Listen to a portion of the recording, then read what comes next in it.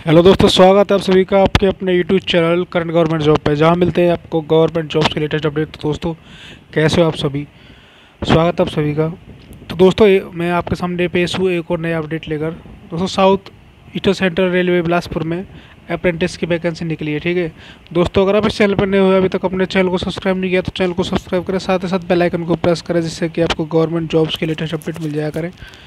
अब आते हैं वैकेंसी डिटेल्स पे, ठीक है? सबसे पहले बात करते हैं एप्लीकेशन फ़ीस की। तो उसमें जनरल ओबीसी मतलब किसी भी कैटेगरी के लिए कोई भी एप्लीकेशन फ़ीस नहीं है। ज़ीरो एप्लीकेशन फ़ीस है। जहाँ तक इंपॉर्टेंट डेट्स का सवाल है तो इसके ऑनलाइन रजिस्ट्रेशन ग्यारह से सितंबर से स्टार्ट होंगे और रजिस्ट्रेशन करने की लास्ट डेट और फ़ीस पे करने की लास्ट डेट आपकी दस अक्टूबर है इसमें, ठीक है? इसका कोई एग्ज़ाम नहीं होता है। मेरिट लिस्ट निकाली जाएगी आपके मार्क्स पे मार्क्स के बेस पे, ठीक है?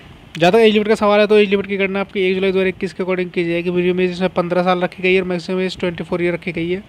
और एज रिलैक्सेशन के लिए आप नोटिफिकेशन पढ़ सकते हैं। इसमें एज रिलैक्सेशन वैसे मिलता है, आप सभी को मिल जाएगा। S C S T P S वगैरह को।